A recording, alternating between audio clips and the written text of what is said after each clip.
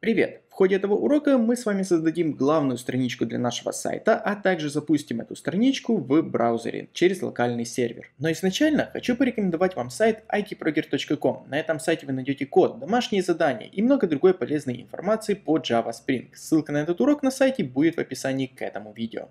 Как было сказано в прошлом уроке, перед запуском нашей программы нам необходимо добавить кое-какие дополнительные классы, а также нам необходимо добавить шаблон, например, шаблон главной странички, который как раз и будет показан пользователю. Соответственно, именно этим мы сейчас с вами и займемся.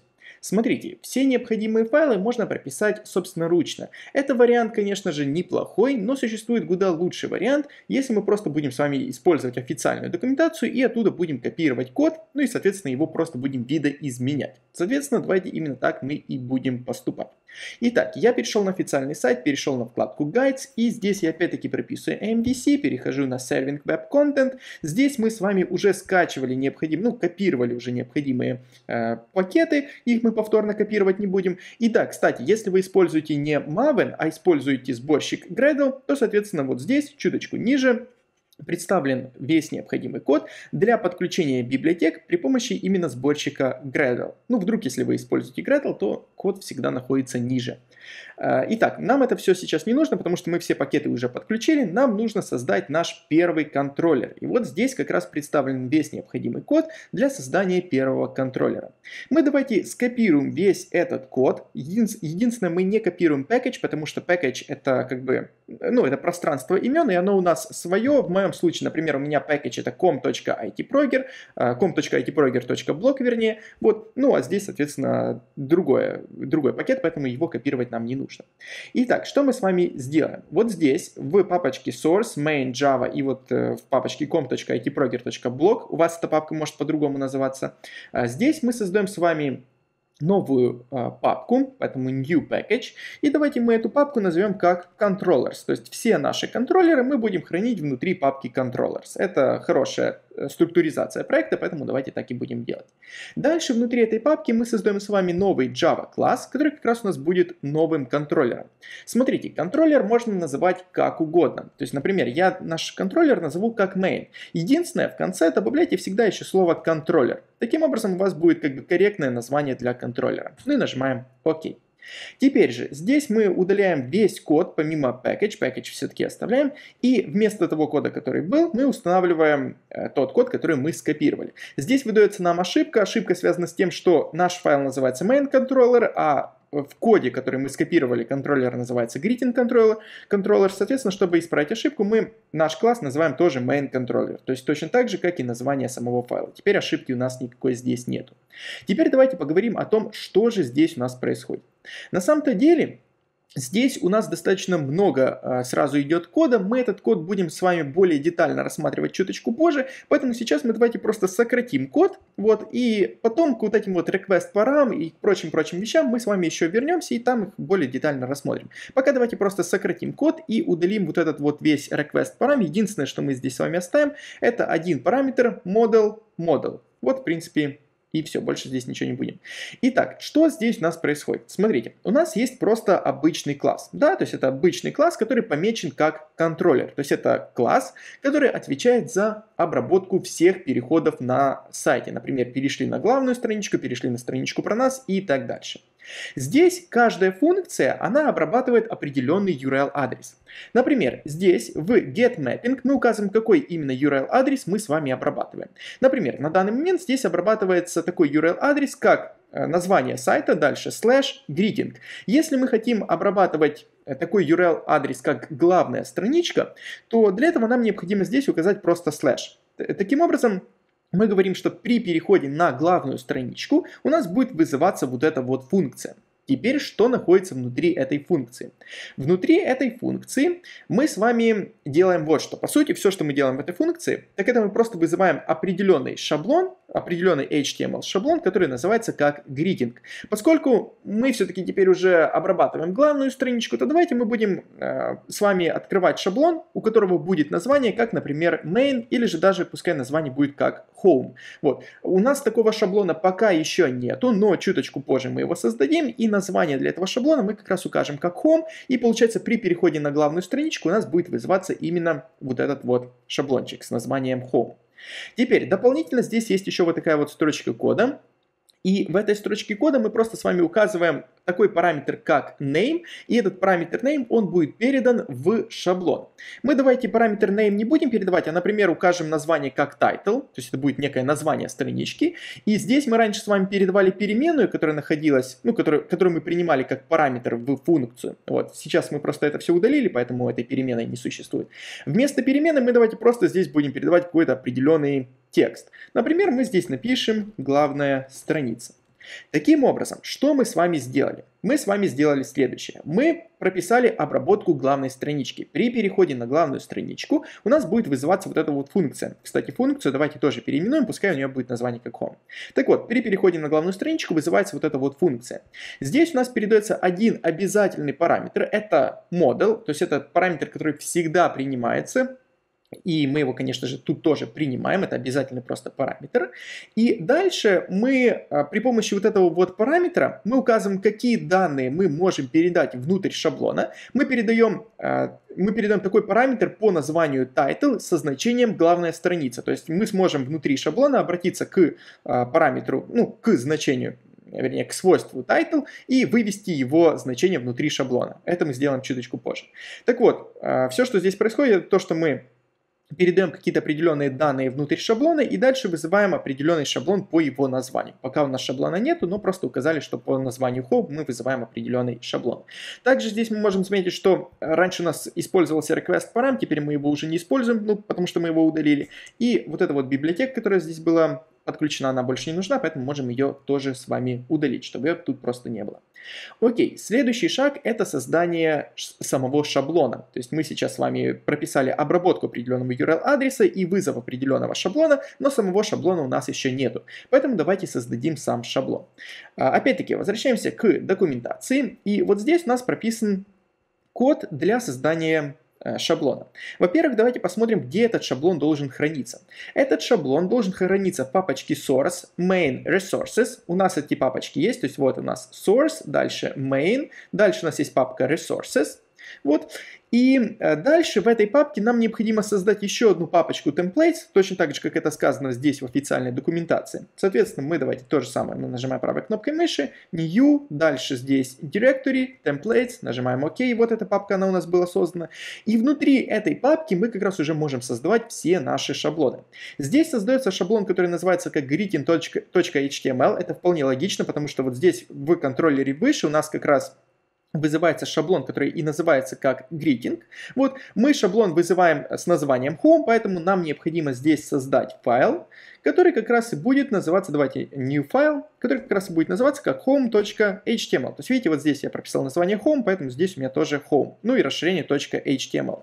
И да, кстати, если вы не знаете HTML или же CSS, то, конечно же, вам необходимо эти языки разметки изучить до того, как э, приступать к написанию самих этих шаблонов. Потому что без HTML и CSS вы просто не будете понимать, а, что за теги я пишу и как я к ним добавляю стили. Вот. Поэтому уделите немножко внимания таким языкам разметки, как HTML и CSS, и дальше возвращайтесь обратно к этому курсу. Ну, мы же продолжаем. Создаем сам этот шаблон, вот он у нас создан. Это, конечно же, пустой пока файл, и давайте мы в него добавим просто сам HTML-код. Вот этот код мы копируем и просто его сюда вставляем. Что здесь в этом HTML-коде у нас происходит? Во-первых, мы с вами подключаем шаблонизатор TeamLeaf. Давайте вспомним э, такой файл, как, как pom.xml.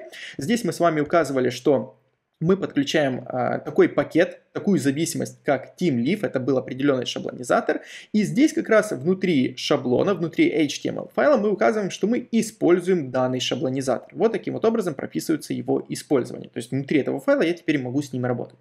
Дальше у нас происходит следующее. Здесь у нас есть просто стандартный тег head, Внутри него мы выводим название странички, а также указываем кодировку для всей странички. Но ну, это стандартный HTML, здесь даже нечего особо сказать. И дальше у нас здесь есть еще а, один дополнительный тег p. Внутри этого тега p мы используем с вами синтаксис шаблонизатора TeamLeaf. Что здесь происходит? Мы указываем, что внутри этого тега мы выводим с вами текст. То есть мы обратились к TeamLeaf и обратились к свойству текст. Таким образом мы установим какой-то определенный текст внутри этого параграфа. Здесь мы просто будем с вами выводить hello. И дальше мы с вами выводим здесь параметр name. Давайте опять-таки вспомним, что раньше внутрь шаблона передавался такой параметр, как name. Я его заменил на параметр title, поэтому сейчас у нас здесь как бы ничего выводиться не будет, просто потому что у нас этот параметр не передается. Соответственно, вместо name мы давайте с вами пропишем здесь title, и у нас будет выводиться здесь, а, ну, вернее, вот здесь у нас будет выводиться hello, и дальше будет выводиться текст главная страница. Давайте единственное напишем здесь, пускай будет, пускай будет привет. Вот, привет, главная страница. Вот такой текст здесь будет выводиться. То есть, по сути, что здесь произошло? Мы взяли одну определенную строку, к ней добавили э, вывод вот этой вот переменной, и дальше еще раз добавили вывод определенной строки. И вот этот вот текст, он будет помещен внутрь этого тега. Все довольно-таки просто. Кроме того, я предлагаю сделать точно то же самое для тега title здесь мы также само указываем с вами то, что мы обращаемся к TeamLeaf, обращаемся к свойству текст и, ну давайте сразу это все еще закроем. И здесь мы с вами просто выведем значение того параметра, который мы получаем. То есть это параметр title. Вот и все. То есть в title, в теге title у нас будет выводиться параметр title, который мы передаем из контроллера. Все довольно-таки просто. Окей. Теперь давайте опять-таки вернемся к документации. И здесь мы с вами можем заметить, что тут еще создается а, один основной класс, который служит для запуска всего приложения. Нам этот класс создавать не нужно, просто по той причине, что этот класс он у нас был уже создан, вот он здесь на, находится, это блок application, он есть, он, э, ну, он корректно создан, соответственно, мы ничего э, дополнительно с вами не прописываем. Теперь мы можем просто все это запустить и посмотреть, как же у нас все будет работать. Чтобы все это запустить, мы с вами можем нажать вот просто вот здесь на, э, ну, на, как бы, на кнопочку старта, либо можем нажать на Run и изначально выполнить дебаг, вот, и здесь выбираем мы блок application, как бы выполняем дебаг, и после того, как мы выполнили, выполнили дебаг, мы можем нажать на, опять-таки, Run, и здесь Run блок application. После этого у нас э, долж, должен запуститься сервер, и все должно обработаться корректно. На это может пройти, уйти несколько секунд, поэтому э, вы не пугайтесь, если у вас сразу все не запустилось.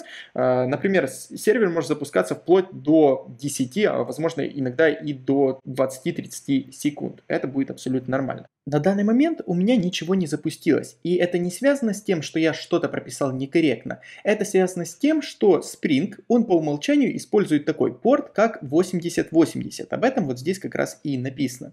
И проблема у меня заключается в том, что порт 8080, он уже использован внутри как бы системы, то есть внутри моего компьютера для какой-то программки, э, где-либо я, например, запускал уже порт 8080 и не остановил э, сам этот локальный локальный сервер, поэтому мы не можем подключиться по этому порту.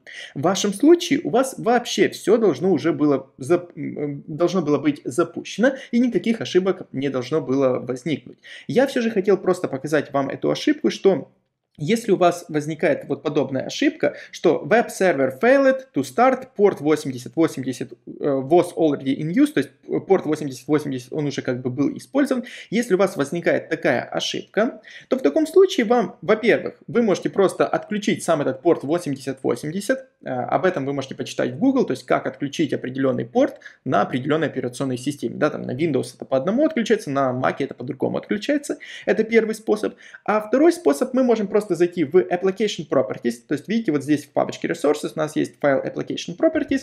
Это файл с настройками. Здесь мы можем установить ну, огромное множество различных настроек, и одна из настроек это установка определенного порта для нашего проекта. Чтобы это сделать, мы прописываем здесь сервер, дальше порт и дальше указываем с вами сам этот порт. А, например, по умолчанию используется порт 8080, а мы, например, будем использовать порт 8081. Теперь давайте я опять-таки остановлю программу и повторно ее просто запущу. Для этого run, ну и опять-таки на run нажимаю. А, сам процесс может, э, сам процесс запуска может занять 10 э, и 20 секунд, это вполне нормально. А, на данный момент у меня процесс запуска занял всего лишь 4 секунды. И вот если у вас э, вывелось подобное же окошко, ну то есть подобный текст, э, в котором написано, что started, дальше указывается вот этот основной файл, в моем случае это блок application, вот этот файл, как бы с которого все запускается. Если у вас вводится вот последним сообщением вводится вот такое вот сообщение, значит у вас э, ваш проект запущен корректно и вы можете его просмотреть. Смотрите, Здесь э, еще очень важный момент заключается в Tomcat. Tomcat это, по сути, встроенный сервер, который позволяет нам как раз и просматривать сам этот веб-сайт внутри какого-либо браузера. И здесь указан порт, по которому у нас все было запущено. В моем случае это порт 8081, потому что именно этот порт я здесь и указал. В вашем случае вы убедитесь, какой здесь порт прописан. Ну, стандартно это 8080, но все же убедитесь, какой порт здесь прописан. И именно по этому порту вы заходите на ваш э, сайт.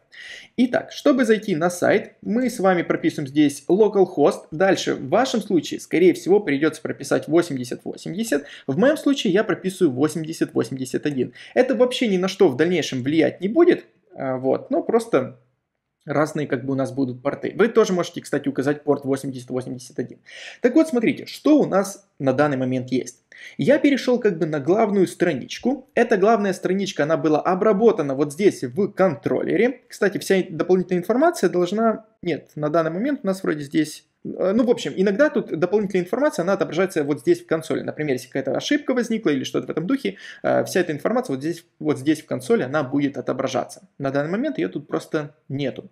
Так вот, что у нас произошло? Мы перешли на главную страничку, в контроллере это все было обработано, и дальше э, контроллер, он вызвал определенный шаблон, в нашем случае это home.html, туда он передал один параметр title со значением главная страница, и дальше этот параметр мы здесь здесь вывели в теге title, а также вывели в теге p. Поэтому вот здесь в теге title у нас написана главная страница, а также в теге p у нас написано привет, главная страница. Вот, в принципе, так это все здесь и работает. Теперь же, на данный момент наш сайт выглядит, ну уж очень убого. Как, как ни крути, тут просто написано э, небольшой текст, и ничего дополнительного нету.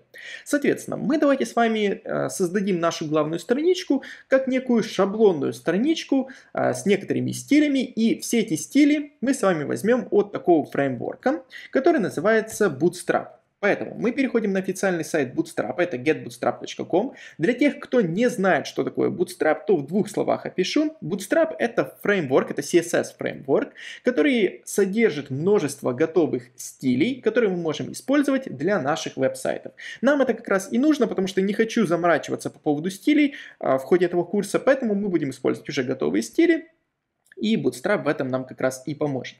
Итак, переходим на их официальный сайт. Здесь мы можем перейти на вкладочку Examples.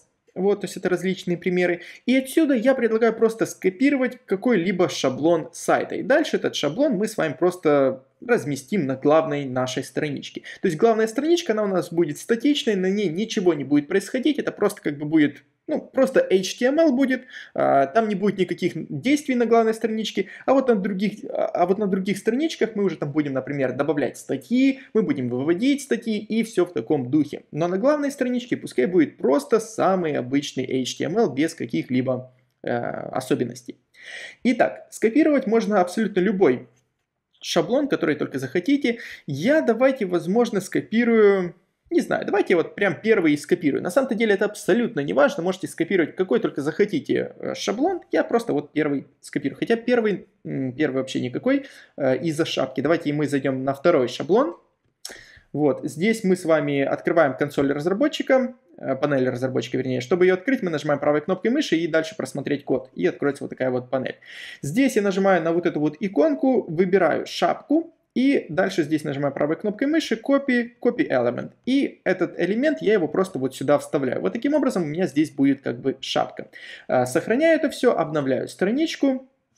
И на данный момент э, у нас ничего не произошло. Э, да, кстати, совсем забыл сказать, что а, обновление, ну, автоматическое обновление здесь не происходит. То есть, если мы хотим просмотреть какие-то ну, какие-то новые нюансы, которые мы добавили внутрь нашего проекта, то, соответственно, нам необходимо перезапустить сервер. Для этого можно нажать на вот эту вот кнопочку, это очень удобная кнопка, она останавливает сервер и запускает его повторно. Соответственно, нажимаем на эту кнопку, и у нас происходит перезапуск сервера. А, опять-таки нужно дождаться а, вот этого вот сообщения started, block application, и дальше там количество секунд указывается. Обновляем страничку, и вот здесь вверху мы с вами можем заметить, что у нас как бы выводится шапка. Да, на данный момент она выводится без каких-либо стилей, но это вполне логично, просто по той причине, что мы с вами еще сам Bootstrap, сами вот эти вот стили, мы их не подключили внутри HTML файла, поэтому они выводятся без стилей. Чтобы подключить Bootstrap, сам вот этот CSS файл, мы должны с вами перейти на э, такой сайт, который называется bootstrapcdn.com. Вот мы переходим на этот сайт, и здесь мы можем просто скопировать э, полный путь к CSS файлу от Bootstrap. Вот этот э, путь, он здесь прописан. Мы его просто с вами копируем, просто нажимаем, и он сам скопируется. И дальше здесь в теге head мы прописываем тег link, э, и можем просто нажать на Tab, и сам этот тег он пропишется. И дальше в атрибуте href мы прописываем э, ссылку на вот этот вот CSS файл. После этого у нас весь CSS, он будет прописан уже корректно. Единственное, перед запуском давайте мы здесь поменяем какие ссылки. Например, здесь я напишу IT-прогер. Или даже не IT-прогер, а давайте напишем блог. Э, вот, здесь у нас будет, например, ссылка на главную, поэтому мы здесь пропишем главное. Здесь пускай будет ссылка на блог сам по себе. И, например, еще ссылка про нас будет, да и остальные ссылки давайте мы пока поудаляем, они нам просто не нужны. Если что, мы их потом добавим. Вот. Окей, все это сохраняем и давайте перезапустим сервер и посмотрим, что же на данный момент у нас теперь будет. А, опять-таки дожидаемся вот этого основного сообщения. А, вот оно появилось, started. Теперь перезапускаем страничку, и мы замечаем, что действительно у нас добавлены все необходимые стили, и у нас есть вот эта вот шапка. Здесь ссылки пока не рабочие, э, но это мы сделаем уже в следующем уроке, чтобы они были рабочими. Но главное, все у нас как бы здесь работает хорошо. Теперь давайте мы еще скопируем просто какую-то основную часть. Для этого я перехожу опять-таки на страничку Examples, здесь я выбираю первый шаблон, и я предлагаю скопировать абсолютно Абсолютно прям все. То есть я копирую вот этот вот тег э, main, а также копирую тег footer. Э, их поочередно надо копировать, поэтому copy element.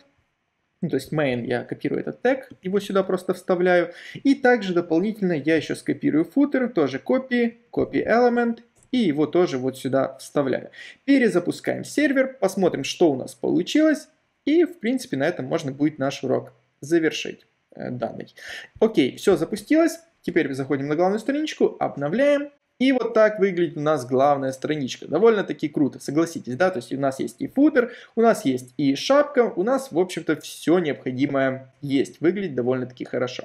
Ну что ж, вот таким вот образом мы с вами научились отслеживать URL странички. На данный момент мы с вами отслеживаем только одну URL страничку, это главная URL страничка э, вернее, просто главная страничка.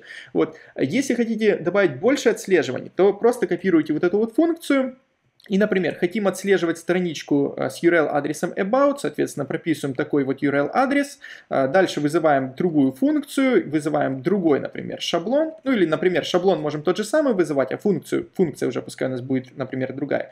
И, например, после перезапуска сервера, э, вот, я уже смогу заходить на страничку About, у нас будет вызываться шаблон Home, вот, но главное, сама страничка About, она уже будет работать. Например, вот давайте запустился сервер, мы переходим на страничку About, и мы с вами замечаем, что у нас отображается точно такой же шаблон, но именно вот URL-адрес это у нас уже about, шаблон тот же самый, а страничка уже другая. Вот, э, то есть мы уже с вами отслеживаем как, как бы теперь две странички. И так, по аналогии, можно отслеживать сколько угодно страниц. Ну, мы с этим еще всем будем знакомиться в ходе курса. Ну, а пока у меня на этом все.